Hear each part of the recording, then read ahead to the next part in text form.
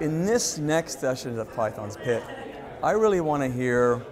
why you have not gone to the bank to try and raise capital to invest in this yourself, and why have you shown up to ask us